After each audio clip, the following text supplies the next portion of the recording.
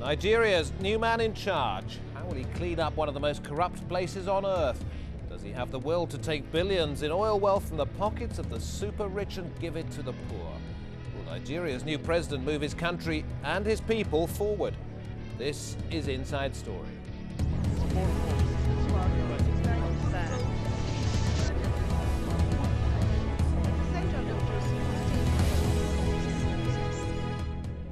I'm David Foster. It's a historic day for Nigeria. The country has a new president, Umaru Yar'Adua.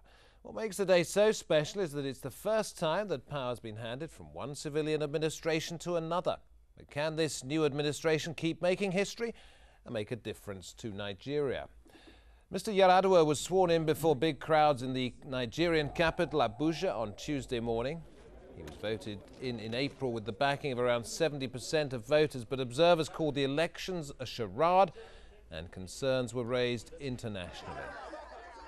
Yar'Adua has been described as reclusive, but he's given hints that he won't shy away from tackling Nigeria's many problems.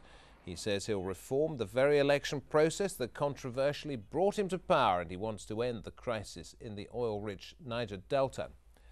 The new president used his first speech to underline the importance of that delta. The crisis in the Niger Delta commands our urgent attention. Ending it is a matter of strategic importance to our country. I will use every resource available to me with your assistance to address this crisis in a spirit of fairness, justice and cooperation.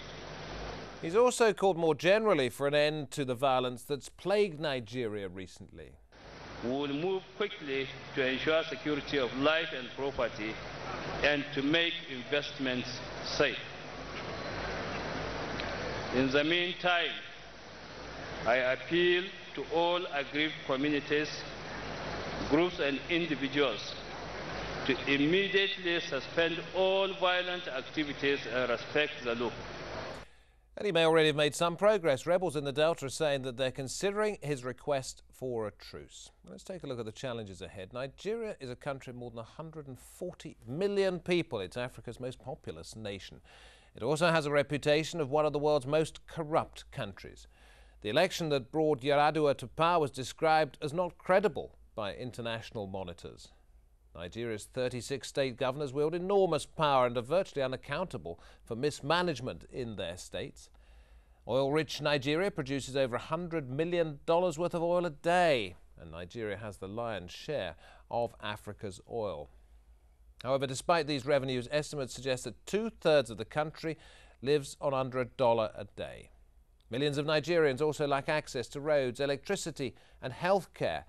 And then there's the violence. Clan warfare, crime gangs, and ethnic violence have seen tens of thousands die in the past decade. So reforms, as promised by the new president, will have to be wide ranging and rigorous. Our correspondent Calais Maestri was at the inauguration in Abuja. She joins us now via video phone. Uh, there is a challenge to the election, even though the president has been sworn in. Uh, what is the legal status of that, Calais?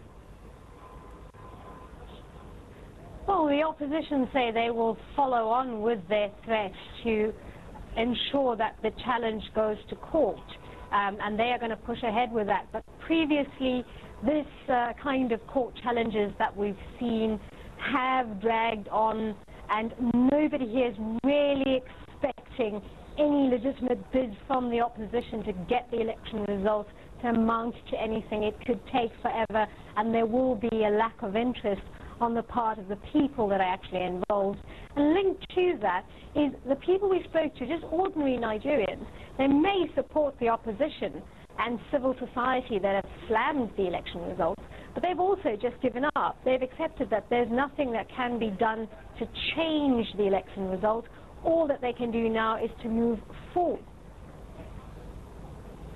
Okay, Calais Maestri, thanks very much indeed. Umaru Yar'Adua was hand-picked by President Obasanjo to be the next president, but he's a very different character from his predecessor. The 56-year-old former academic is known as a quiet and mild-mannered Muslim. He's Nigeria's first leader for 40 years to have been university educated. He comes from a political family. Both his father and brother have served in government. And for the past eight years, the new president's been governor of the conservative northwestern Katsina state. In that post, he's been praised for reforms in agriculture, education, and town planning. He's got a clean political record, an independent Nigerian commission finding no evidence or even suspicion of corruption. The question now is whether he can achieve such economic and anti corruption reforms in Nigeria's 35 other states.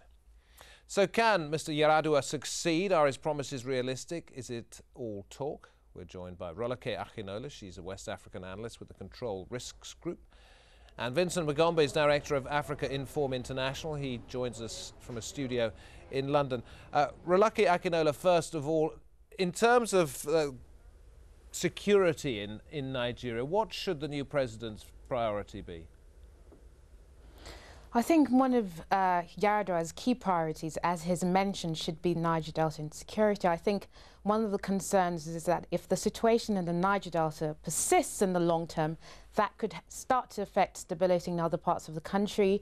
Uh, we know Obasanjo's strategy towards the region was to rely on military deployment and containment, and we've seen that that strategy is unsustainable.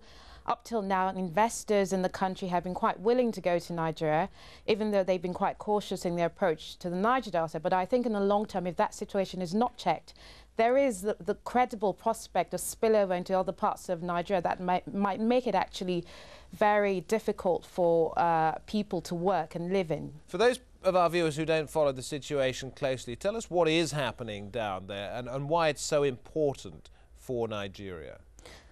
Well, the Niger Delta itself, the core Niger Delta supplies uh, close to 90% of federal government revenue. Nigeria is Africa's largest oil exporter.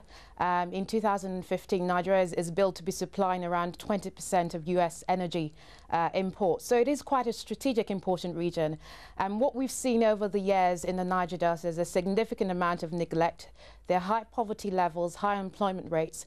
And what we now see manifesting in the region in terms of militant activity is also a mix of both a criminal element as well as a more politically driven, low-level insurgency that is seeking to extract some concessions key concessions from the federal government, mostly in terms of how uh, federal oil revenue is spent in the region.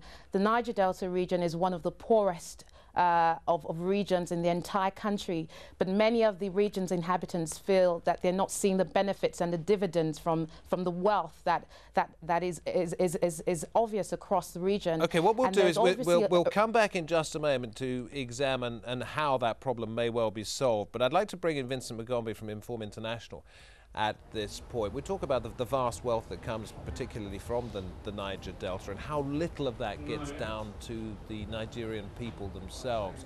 Uh, Mr. Magombe, why is that? Why do they, they don't benefit from, from what's coming out of their country?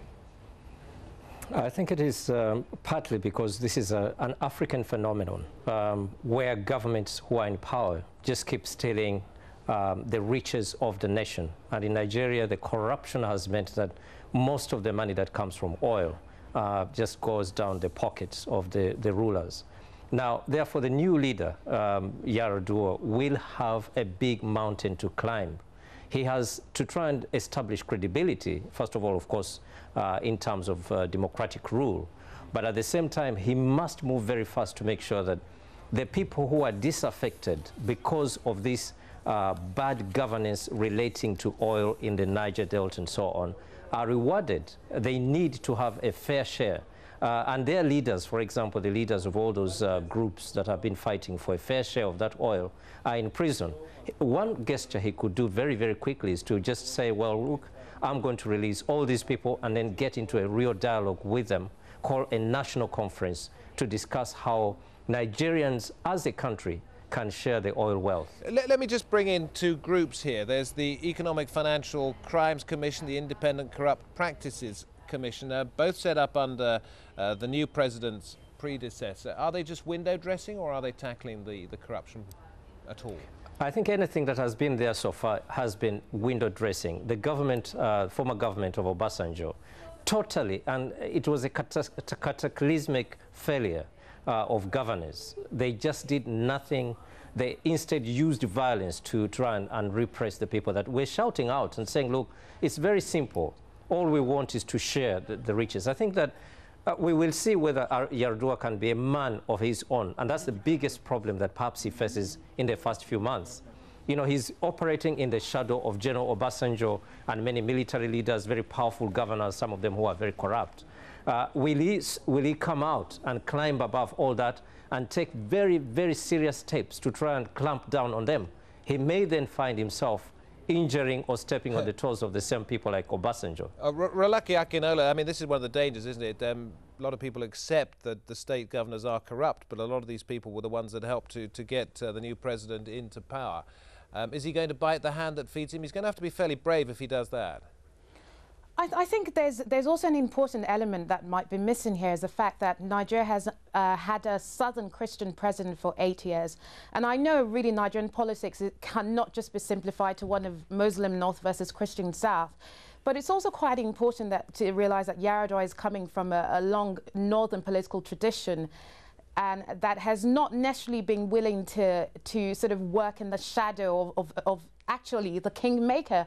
I think Yar'Adua should not be underestimated. I think there's a lot he can do independent of the president, and I think he needs to establish that early on. But also, Nigeria leading Niger will require a very tricky geopolitical balance of interests. The North has returned to politics. The Niger Delta is calling for greater oil revenue sharing in the region. And I think Yar'Adua will need to ensure that he approaches it cautiously. I think what this period represents is a fresh opportunity for Nigeria to move forward and leave the past behind. And I think that will be quite crucial uh, for Yar'Adua to achieve very early on. OK, Vincent Magombe, I know you disagree with the election result, that you believe it was, it was rigged, that this is not the man who should be in power. But given that he is in power, um, as an African, you may be prepared to accept that this is what you've got to live with? Is he the sort of person who can step out from his predecessor's shadow and make a mark for himself? I think in many countries in Africa, people have been accepting such things and saying, well, that's okay. The dangers that we are facing now, looking at Nigeria, uh, are, reflected through the voices, some of the most prominent voices like that of uh, Wole Soyinka, uh, the Nobel laureate, who has said that this is uh, a total failure of democracy and good governance, and that it necessitates a revolution. Now, the, the things we are starting to hear, therefore, are dangerous things. For example, people are saying, look, you know, we could have another military uh, takeover. So you can say about Yar'Adua and say, well, he is a man of his own. We know that in his family line, they have had very strong links with the military. His brother used to be a military man and so on. But there are very many powerful military people who are very, very corrupt and who would want uh, this lack of governance and corruption to continue. Uh, that is one thing. But there now there's another disaffected lot of military people who would want to use this vacuum of governance and democracy uh, to take over and say, well, we have a reason. We are going to organize elections. Nigeria is at a crossroads, a very dangerous crossroads. Okay, and we're, and we're going to take a look at specific problems facing the country. In, and when we return, we will be looking at some of the problems in more detail as we continue with Nigeria. A new president, will Africa's most populous country move forward? Or are more bad times ahead for its people? That's on Inside Story.